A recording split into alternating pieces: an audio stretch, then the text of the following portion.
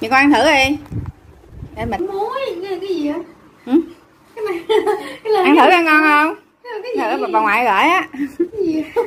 Cái này gọi là cứt dừa. Thấy thương nó cười à. Đó giờ đó giờ sao đâu có biết vụ này. Chỉ có quê mới biết thôi. Nít với quê hồi xưa mới biết cái vụ này thôi.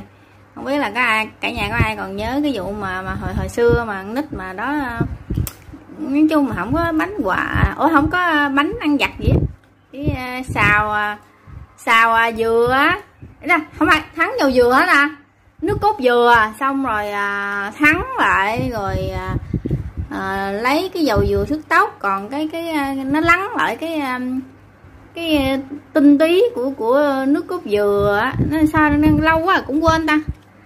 Rồi cái nó thành lại nó xe xe lại thành cục cước dừa. Tên ngộ vậy. Ăn ăn được không? Ăn được không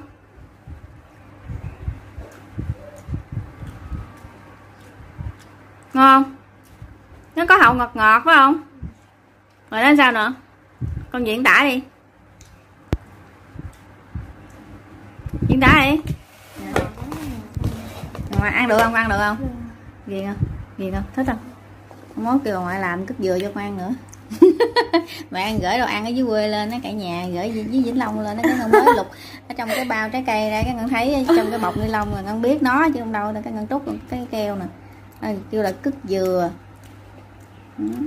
để mẹ ăn thử nó giống như là lớp mỡ. Dẻo dẻo. Không có giống lớp mỡ lắm. Nói chung là nó thơm nó dẻo. Nó ngọt. Nó có không ngọt hết rồi ha? Ừ nó ngọt.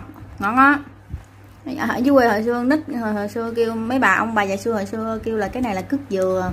Mà không biết là kêu là cái gì luôn không phải không có cái tên gọi khác nha nhìn thấy cái này là kêu là cứt dừa vĩnh long nha cả nhà dũng liêm vĩnh long nha. Còn ngân không biết cái mấy chỗ khác kêu sao. Mắc cười ha tự nhiên cái sáng chế ra dầu dừa sức tóc xong rồi cái nó lắng lại. Cái, cái này kêu là cứt dừa cái này cũng có dầu đúng không? Ừ, dầu dừa thôi. Dầu dừa. Dầu dừa ăn không sao tốt. Dầu dừa người ta thắng cái sức tóc hồi xưa. Mấy người xưa hồi đó đâu có à, xài mấy cái dưỡng chất ờ, à, mượt tóc rồi nhưng giờ đâu sức dầu dừa không cái đầu bóng láng luôn láng cuộn luôn. Mấy người ờ, con gái mà tóc dài đẹp đẹp đen đen rồi sức dầu dừa nó có nhiều tác dụng tốt. Hồi xưa nghĩ xưa cũng hay ha. Hồi xưa thì hồi, hồi, hồi, hồi, cổ đại ăn lông ở lỗ rồi thời đó đó. Là là là xài gì cũng thiên nhiên tự nhiên tự làm. Ghiền ơi ghiền ơi cái này là hai bao thuốc nam. Nam. À, lá hậu thủ ô với à, lá lốt. Ừ. Nè ngân à, gửi lên à, cho người chị người chị quen của ngân á. À, bị bệnh khớp à, mà chị ngân nhờ mẹ ngân à, hái sẵn là phơi với quê gửi lên. Ừ. Rồi quen chúc cho cả nhà xem cho vui đây là quýt. Như là gạo lứt, nhà ngân gan này nè. Để à, làm trà gạo lứt uống này. Mình nấu nước chè uống. Tắt.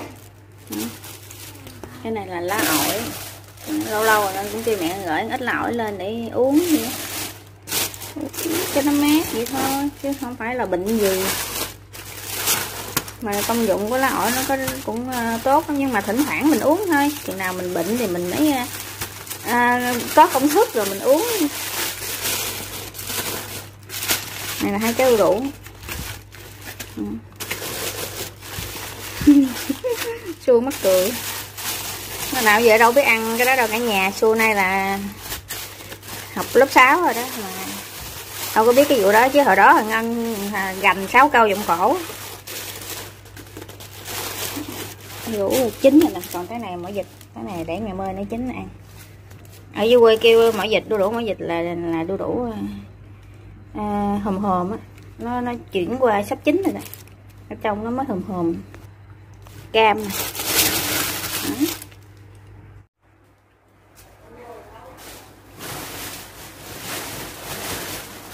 Cốc nè cả quá trời gì đây? Cam bưởi cam sành.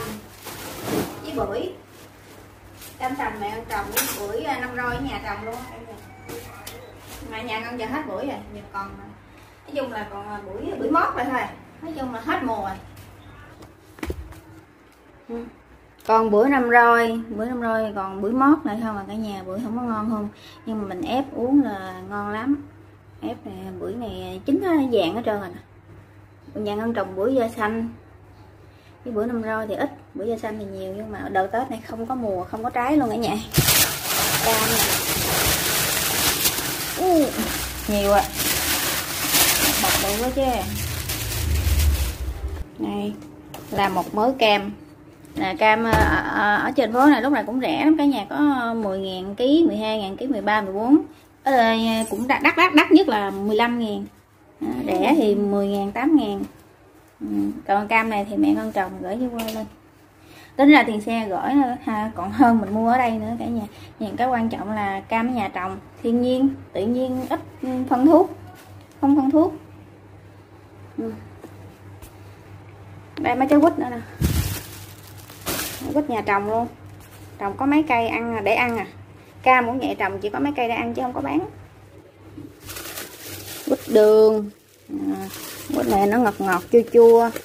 Quýt uh, à, miền tây á cả nhà mẹ ngon gửi từ ở vũng liêm vĩnh long lên thành phố hồ chí minh quận bình thạnh. Nói để cho à, cả nhà biết uh, chỗ ngân ở ở quê ở đây ở đây thì ngân có chồng ở đây. Còn mẹ ngân nhà nhà mẹ ngân thì ở quê. Tạm thời thì ngân sẽ để trái cây ở đây à, tạm thời thì để ờ, trái cây ở đây khi nào ngon rảnh thì ngon sẽ gọt rửa rặt tỉa rồi làm nước ép đồ này kia. Có trái này bữa da xanh mà nó lọt tớp bị hư rồi. Không biết còn ăn được không chắc phải ê quá. Rồi Nhật, cái bịch thuốc nam. Còn cái này là rau len rau len tím rồi ờ, bông xua đũa có khi mẹ ngân gửi ngò rồi lên nó ngò gai với lá quế rượu thơm chất cá gì. Kỳ này thì mẹ ngân gửi giản tiện thôi. Chủ yếu là người chị nhờ gửi thuốc nam á cả nhà. Người sẵn này mẹ ngân gửi luôn. Với sợ mấy chai mấy cái trái cam nó chín này nó hư gửi cho cháu ngoại. Này gửi lên cho nó uống. Công đôi ba chuyện. Này à, tắt mẹ ngân trồng luôn nè. Lọt ra uh, vô được mấy trái cam. Cam này mẹ ngân cũng trồng. Ủa? xin lỗi cả nhà. À, à, mấy trái à, à, chanh. Rồi dạo này sao? Không biết sao nữa. Nhìn cái trái đó mình biết cái trái đó mà mình không có nói ra cái tên của trái đó được. Không biết sao kỳ nữa. Cái đầu nó, nó giống như là nó cái ốc nó bị à, bị bị lu mờ rồi. Cái bột ốc nó bị lu mờ rồi. Mắm cá phèn rồi à, có thêm à, ớt hiểm nữa nè cả nhà. Mẹ đang để trong cái bọc rô la mà không thấy à, mắm cá vàng này trộn đu đủ chấm ờ, thịt luộc chấm mắm kẹp mắm ăn ờ, cuốn bánh tráng rau sống rồi ngon lắm cả nhà ăn với bún á. Gần chút uh, ờ, mắm ở trong cái bọc ra cái cái cái hũ thủy tinh luôn. Thơm quá trời thơm luôn. Cái mùi này nó chảy nước miếng luôn. Nội này ăn cơm cháy cơm nguội rau lan luộc. Trời ơi vậy chứ ăn ăn mắm này không cũng ngon nữa không cần thịt luộc luôn. Ngon lắm. Mình trộn mình mua mắm ngoài chợ cái mình về mình trộn chanh đường tỏi ớt bột ngọt gừng rồi vô vậy đó. Ừ. cái này mẹ con chưa trộn? Chừng nào con ăn con tự trộn.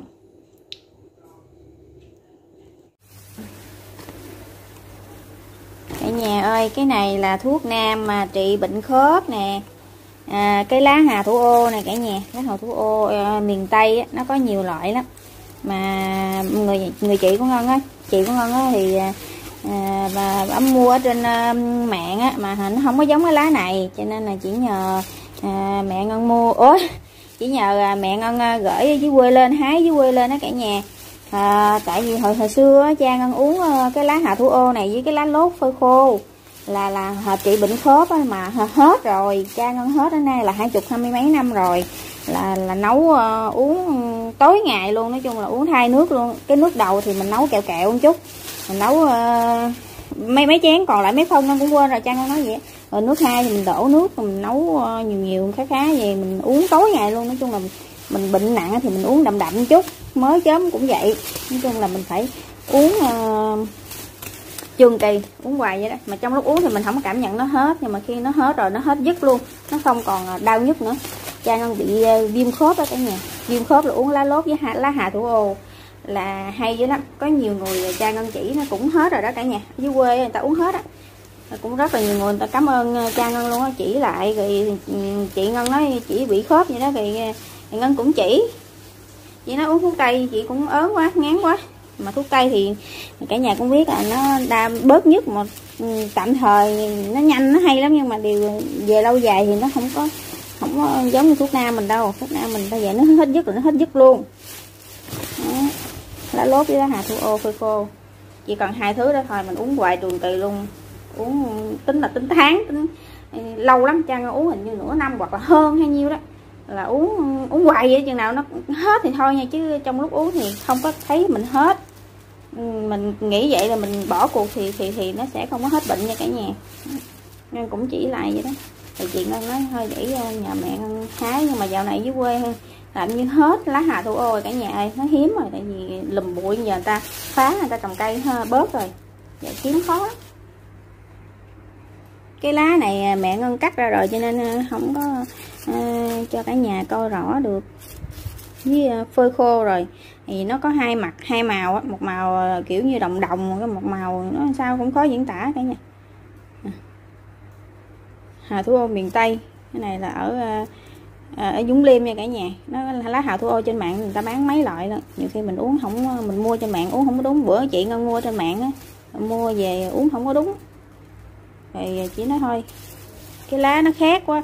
Chỉ kêu nhờ nhà mẹ ngân hái giùm. Hai bao. Mẹ ngân đựng hai hai bao riêng ngân mới tháo cái bao bên này là ngân mới thấy là cái cái bao này là đựng lá hạ thủ ô chuyên về hạ thủ ô.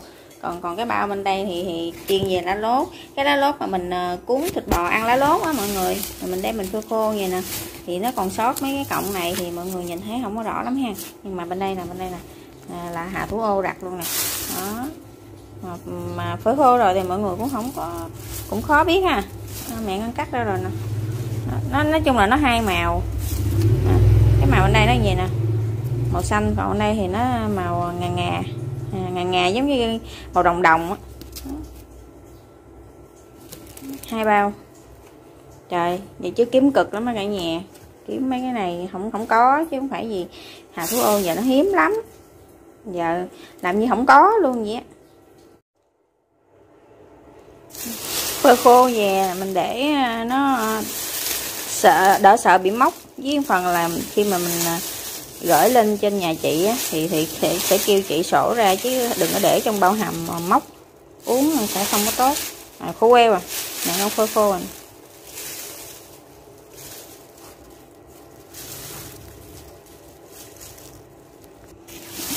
Ừ, Lá lốt cũng khô queo.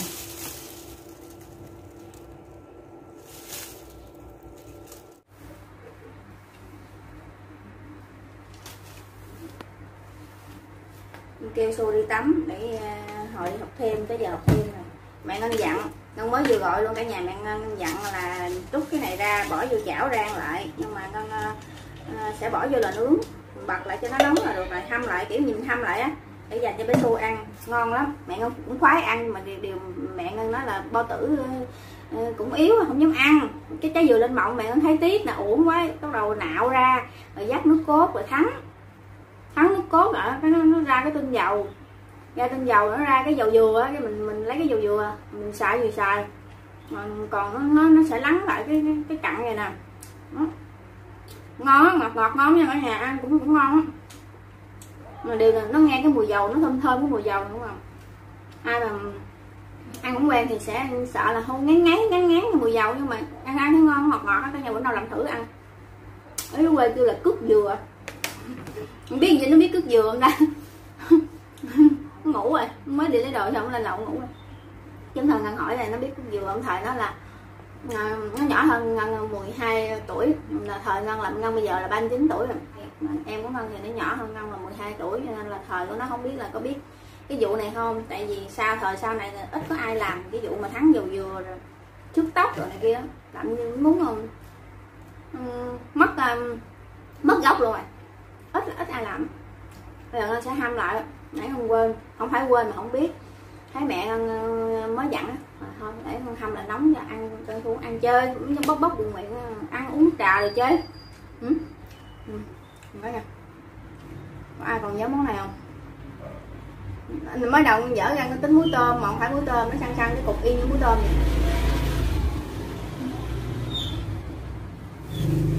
Thấy cả nhà đó, nó ngọt ngọt thơm thơm.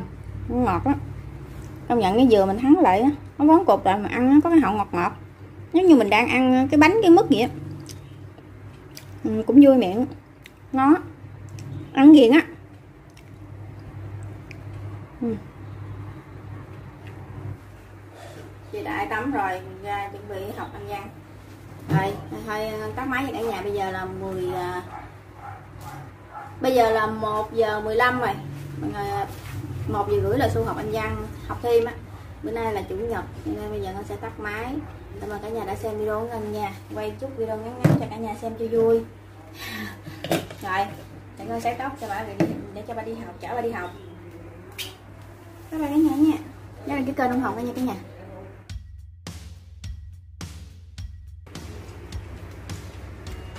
Cái gì ăn thử này. Mày món gì vậy? món độc lạ miền tây chưa bao giờ biết không? Nhìn cái mặt ngơ ngơ thấy cảm giác lạ. Hay sao? Anh biết món đó món gì không? Bánh gì vậy? bánh hả? Ăn cảm giác sao? Giống như bánh mà ngon không? Ngon, như là nó cái vị nó là sao? Ngọt ngọt, ừ. Thơm thơm ừ. Ý là ăn được không? Thích không? Hay là không thích? Cũng được chứ, mà là gì?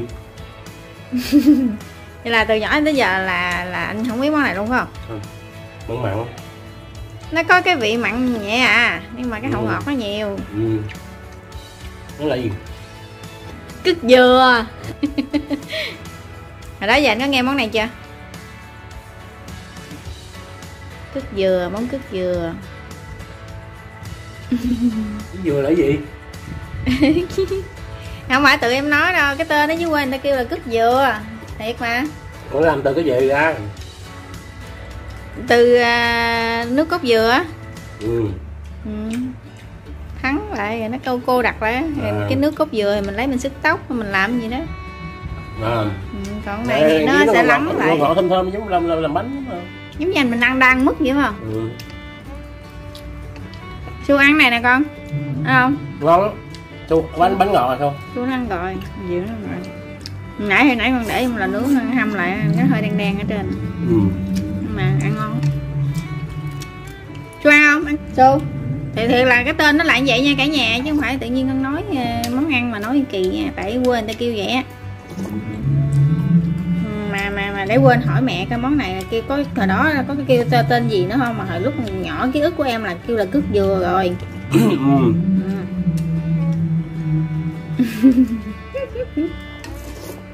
Xíu thôi. Nhưng mà ăn cũng được ha, anh ha. Ăn cũng là đỡ buồn miệng, ghiền ghiền, ăn cũng ngon lắm Ừ. rõ đó rõ rõ đâu biết là anh phố mà, đâu biết. Dạ anh đâu biết mà thiệt là thiệt tình là từ nhỏ giờ anh đâu có biết phải- biết qua cái món này đúng không?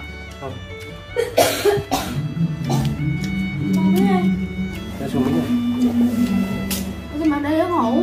chín giờ rưỡi rồi. Mà ăn đi rồi hồi mẹ bỏ vô hũ tại nãy mẹ bỏ vô là nướng mẹ, mẹ hấp nữa. Ủa mẹ nướng rồi. Ăn đỡ buồn ha con ha. Giờ này đòi đói mình ăn cái đó cho dằn bụng lại xong mình ăn thêm hũ sữa chua nữa là được rồi đừng ăn hả? thêm Ủa, món cái kia ly có ly bữa nước bữa thôi đâu? Nè, xô lấy xô bữa xô. Gì vậy? Ngon vậy? ngon vậy giờ ăn thấy ngon ngon thiệt á, cả nhà bữa nào mình thắng về ăn đi